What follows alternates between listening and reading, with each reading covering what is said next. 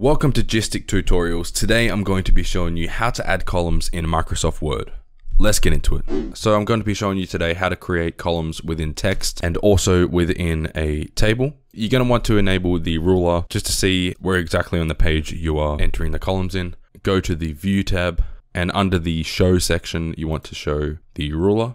So after that we want to go to Layouts and then click on Columns you want to click on the drop down and it's going to ask you whether you want one, two, three, or left or right columns, or you can click on the more columns option and it's going to give you uh, more customizable. So you can choose one of the presets. It's going to give you the example of how it looks in the bottom right here, or you can create the exact width and spacing that you want for the columns by adjusting it yourself here. And you can choose whether you want to apply it to the whole document or from this point forward, which means from the end of the text. You can also choose whether you want a line between the two columns, like so.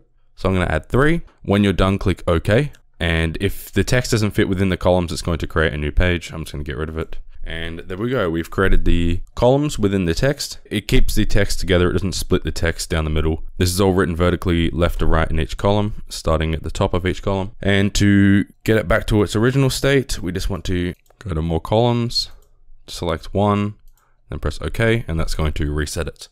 So now I'm going to show you how to create columns on a table. Obviously you can create columns using the horizontal scale when inserting a table, like so. So if I want more columns, I just simply go more to the right. Let's say I want five columns. I click on five by one. And to add columns, you're going to want to hover over the line in the middle of the table and go up to the top. And then you want to click the plus button and that's going to create an extra column. So that is it for this video. If it did help, please hit that like button. And if you're new to my channel, make sure you hit that subscribe button as well. Also, let me know what other videos you want to see on this channel, and I'll be sure to make them in the future. That is it from me.